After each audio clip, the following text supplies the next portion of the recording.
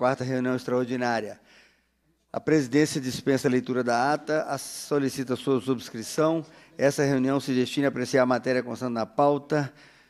O presidente acusa o recebimento do projeto de lei número 1820, 2023, no primeiro turno, no qual designou como relator o deputado Lucas Lasmar. Passa a primeira fase da ordem do dia, projeto de lei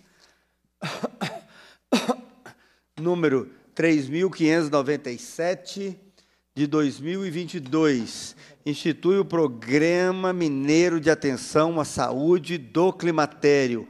Autor, deputada Ana Paula Siqueira, e a Comissão de Saúde fica muito feliz de receber essa querida deputada aqui, ainda mais num projeto tão importante. Deputada Lute Falcão, como sempre, me falhando. Na ausência dela, avoco a relatoria. Autoria da deputada Ana Paula Siqueira, visa instituir o Programa Mineiro de Atenção ao Climatério. O climatério é o período de transição que a mulher passa da fase reprodutiva para a fase pós-menopausa. Na análise preliminar, a Comissão de Constituição e Justiça entendeu que o projeto em análise é afeto à defesa da saúde. E o deputado Charles Santos, Bruno Engler e Tiago Cota né, apresentaram o substitutivo número um.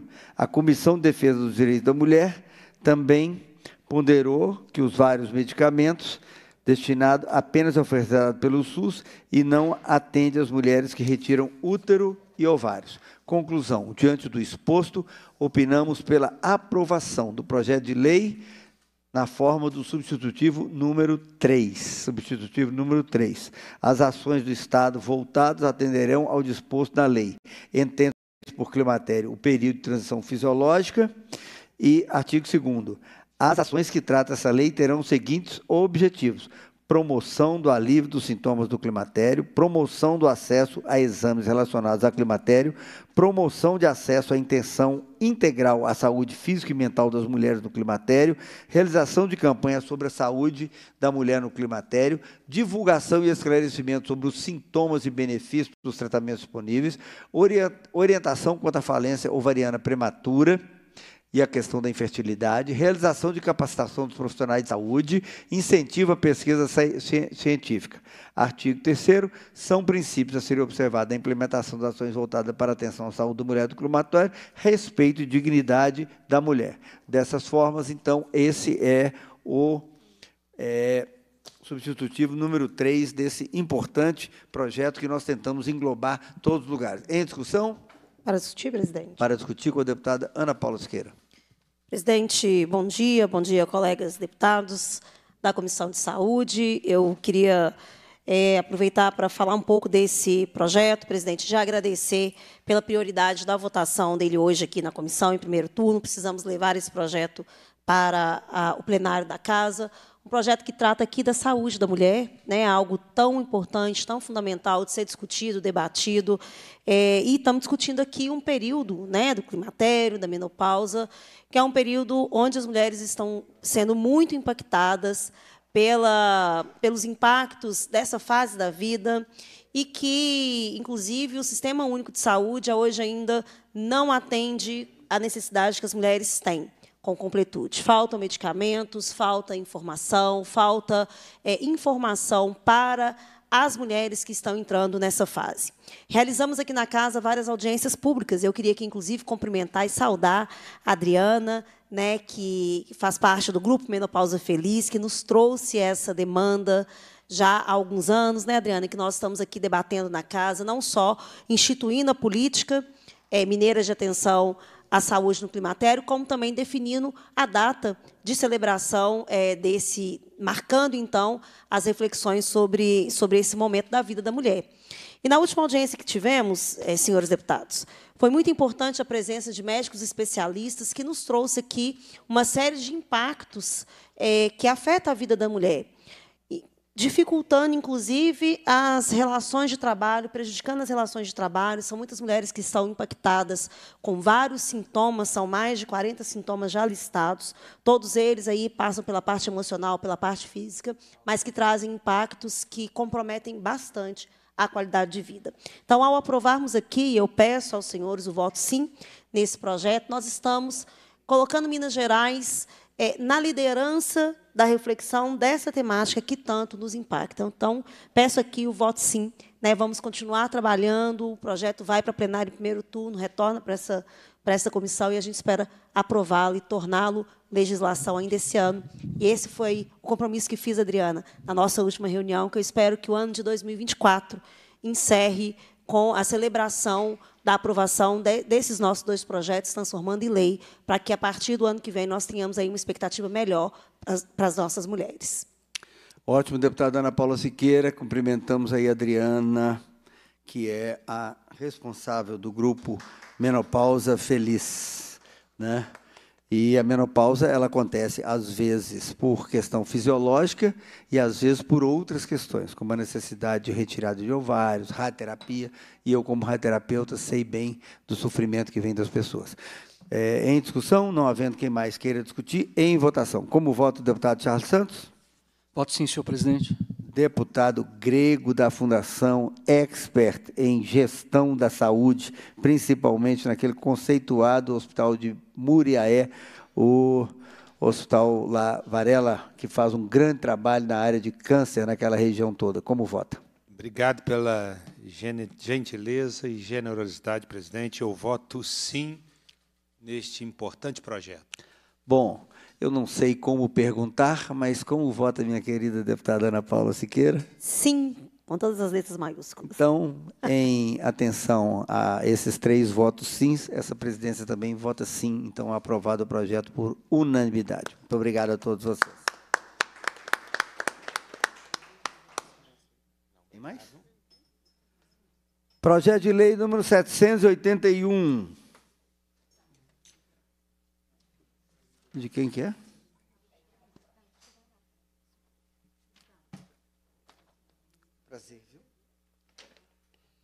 Bom, projeto de lei 781, do deputado Cristiano Xavier e Antônio Carlos Arantes. Ah. Correto. Do deputado Cristiano Xavier e o deputado Antônio Carlos Arantes. Né? É, a relatoria da deputada Lúcia Falcão. Na sua ausência, sempre estou avocando os projetos que a deputada Lúcia Falcão é, atua, atuaria como relatora. Infelizmente, ela tem faltado, e aí eu tenho sido relator de muitos projetos. Mas vamos lá. Né? Então, esse projeto aqui ele institui a campanha de incentivo à instalação de fossas sépticas biodigesturas nas áreas rurais do âmbito do Estado e dá outras providências. Né? É a questão do desenvolvimento sustentável. De maneira que, diante aí das questões, nós somos pela aprovação do projeto de lei número 781, no primeiro turno, turno na forma do substitutivo número 2, apresentado pela Comissão de Meio Ambiente e Desenvolvimento Sustentável. Em discussão, não havendo quem queira discutir, em votação, deputado Charles Santos. Charles Santos vota sim, senhor presidente. Deputada Ana Paula. Sim, presidente. Eu também voto sim, projeto aprovado. Deputado, é, é, projeto Dr. Jean Freire, que dispõe sobre a política estadual de prevenção e combate às doenças tropicais negligenciadas no estado de Minas Gerais. Deputado doutor Jean Freire, relatora também Lude Falcão. Essa presidência sempre tentou privilegiar a deputada Lude Falcão, colocando em muitas relatorias, mas sempre com a sua ausência a gente acaba tendo que avocar a relatoria. Né? O projeto doutor Jean Freire dispõe sobre a política de prevenção e combate às doenças tropicais. Né? Esse projeto, ele é de alta relevância, né? e o projeto ele foi é, aprovado é, e apresentou um substitutivo na Comissão de Constituição e Justiça. Opinamos pela aprovação do projeto de lei no primeiro turno, na forma do substitutivo número 2, que foi apresentado em avulso. Né? Como em discussão o projeto, não havendo quem queira discutir, em votação, deputado Dr. Charles. Voto sim, senhor presidente. Querida Ana Paula? Voto sim, presidente. Voto sim também. Aprovado o projeto do doutor Jean Freire. Projeto de lei número 1888, no primeiro turno, que dispõe sobre o controle dos casos de epidermólise bolhosa, do deputado Charles Santos, que identifica essa situação extremamente difícil e problemática das pessoas que têm essa doença. Também relatoria que eu tinha privilegiado a deputada Lúcia Falcão, e aí, na sua ausência, a gente avoca a relatoria. De autoria do deputado Charles Santos, é, dispõe sobre o controle dos casos de epidermólise bolhosa. Né? Esse projeto ele foi aprovado na Comissão de Constituição e Justiça, da qual o deputado Charles faz parte, na, na forma do, do primeiro turno.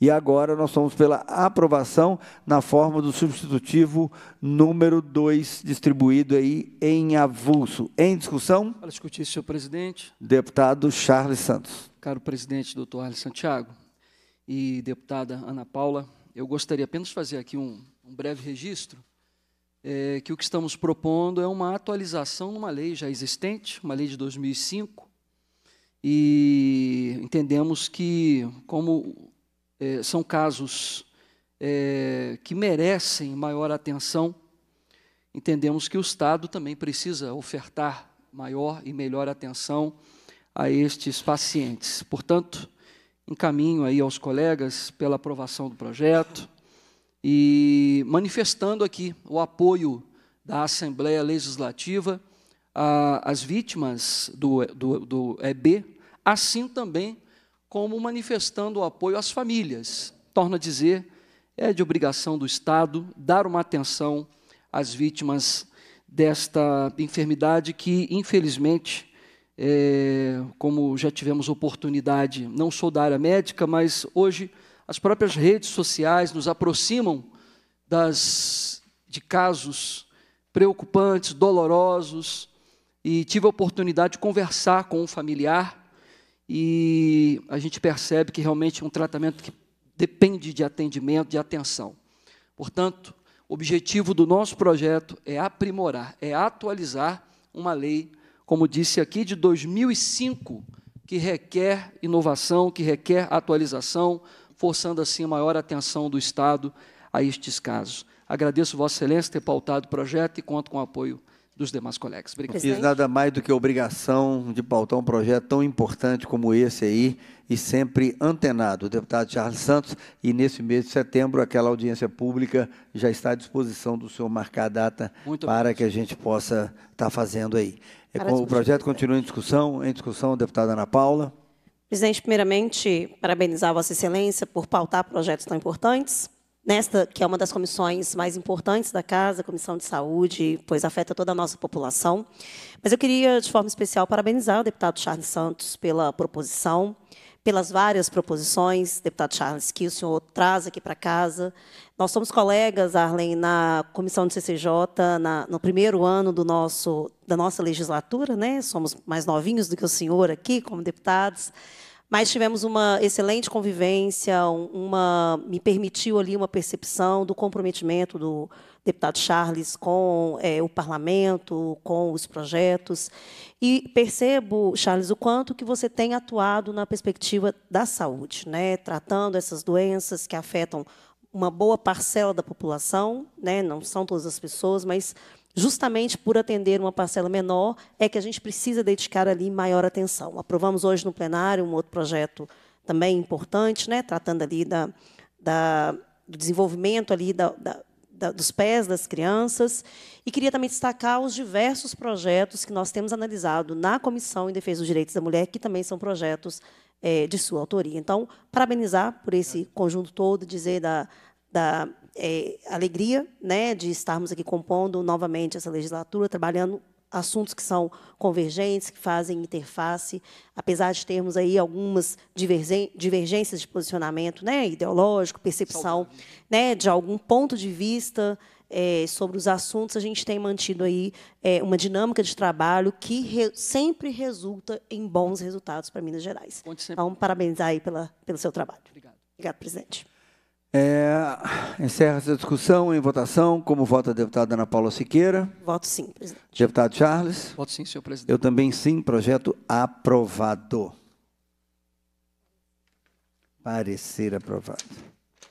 Alguma coisa mais? Ah, tá. Cria o cadastro estadual de pessoas com fibromialgia. Deputado, lei, projeto de lei 2201, é, do de, professor Cleiton. Deputado, eh, relator, deputado doutor Wilson, na sua ausência, avoco a relatoria. É um processo que cria o cadastro estadual de pessoas com fibromialgia. E aí, diante do exposto, fomos pela aprovação do projeto de lei, no primeiro turno, da forma do substitutivo número 1, um, apresentado pela Comissão de Constituição e Justiça. Em discussão, não havendo quem queira discutir, em votação, deputado Charles Santos. Voto sim, senhor presidente. Deputada Ana Paula. Sim, presidente. Voto sim. Também aprovado o parecer.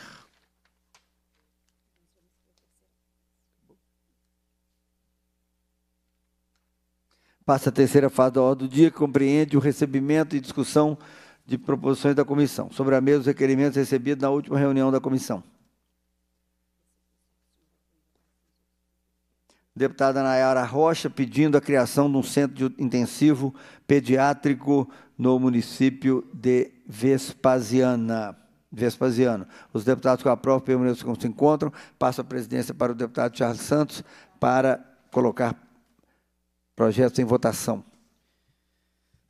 Requerimento de comissão 10.402-2024. O deputado este eh, subscreve e requer a Vossa Excelência, nos termos do artigo 100, inciso 5 do Regimento Interno, seja realizada audiência pública para debater a orientação do Tribunal de Contas do Estado de Minas Gerais, TCE, com base na Lei de Responsabilidade Fiscal que passou a exigir que sejam computados como gastos de pessoal, de pessoal os custos com todos os profissionais do Hospital Regional de Janaúba e da Fundação de Assistência Social de Janaúba, Fundajan, mesmo aqueles que não pertencem aos quadros do município, impactando sobremaneira a gestão municipal, de autoria do deputado Arlen Santiago. Vamos colocar em votação o requerimento, como vota a deputada Ana Paula Siqueira. Voto sim, presidente. Como vota o deputado sim. Charles Santiago. Charles Santos também vota sim, portanto, está aprovado o requerimento. Requerimento de comissão 10.401-2024. O deputado que este subscreve requer a Vossa Excelência, nos termos do artigo 100, inciso 5 do Regimento Interno, seja realizada audiência pública para debater sobre a prestação de serviços de saúde pelo Instituto de Previdência dos Servidores do Estado de Minas Gerais, IPSENG, também de autoria do deputado Arlen Santiago. Vamos colocar em votação o requerimento, como vota a deputada Ana Paula Siqueira. Charles, repete, por favor, o requerimento. Audiência pública para debater okay. a atenção do IPSENG. Ok, voto sim. Registrado voto sim. Como vota o deputado Arlen Santiago? Sim. Charles Santos também vota sim, portanto está aprovado. Devolvo a presidência ao deputado Arlen Santiago. Bom, esses dois requerimentos para audiência pública, eles são bastante importantes, porque nós temos aí uns limites constitucionais de gastos com pessoal. E agora o TCE coloca que a, o gasto com os hospitais, eles tenham que ser computados como pessoal pela gestão municipal. Os municípios de gestão plena provavelmente todos incorrerão em crimes porque ultrapassarão a lei de responsabilidade fiscal. E os recursos que são é, usados pelos hospitais, principalmente os filantrópicos e até os públicos municipais, a gente vai ver aí no futuro, é, talvez, o término desses hospitais públicos municipais que prestam um excelente serviço. Muito obrigado aí a todos os senhores aí. E a outra questão é para que a gente possa estar preparado aqui para discutir hoje a, o atendimento ao IPSENG.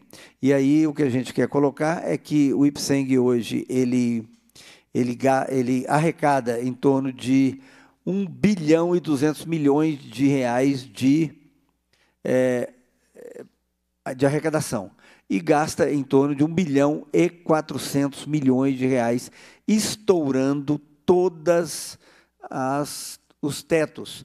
E, infelizmente, não pode ter dado reajuste há muitos anos, e com isso algumas regiões estão desassistidas, como por exemplo o Triângulo Mineiro, que não aceita mais a tabela que o IPSENG pode pagar. E aí a gente começa a ver algumas inconsistências. Por exemplo, todas as crianças dependentes de 0 a 19 anos não contribuem com nenhum real. Então, nós temos aí milhares de pessoas que têm direito a todo o atendimento sem contribuir com nada. Não há plano de saúde que resista. O plano de saúde do IPSENG, ele hoje ele fica mais ou menos em 9% do custo de um outro plano de saúde, da média dos planos de saúde. Quer dizer, o que se torna completamente inviável. Alguma coisa tem que ser feita e tramita um projeto nessa casa para poder tentar organizar essas coisas. Se as pessoas querem ter um plano de saúde, não tem jeito de não pagar. Fica muito difícil que a população toda do estado de Minas Gerais pague para que alguns tenham o plano de saúde. O plano de saúde do IPSENG ele é importante, ajuda muito, diminui a quantidade de pessoas no SUS e a gente vê, por exemplo, o IPSENG buscando algumas coisas bastante importantes, como, por exemplo, a oncologia, ela não é debitada nada de coparticipação aí dessas pessoas. Além disso, o teto de é, desconto do IPSENG, ele está em 275 reais. Quer dizer que as pessoas que ganham mais, elas acabam pagando um pouco menos porque tem um teto. Então, essa questão do teto e essa questão da, das isenções estão fazendo com que o plano de saúde ele, ele esteja numa situação extremamente complicada. Cumprida a finalidade da reunião, a presidência agradece a presença dos parlamentares, convoca os membros para a próxima reunião ordinária, determina a lavratura da ata e encerra os trabalhos. Agradecendo muito a deputada Ana Paula Siqueira e é, falando que, caso ela possa vir em todas as reuniões da Comissão de Saúde, essa comissão realmente ficará mais importante e mais resolutiva. E, da mesma maneira, o deputado Charles Santos, que tanto tem contribuído com seus projetos, suas audiências públicas aqui nessa comissão. Muito obrigado a todos.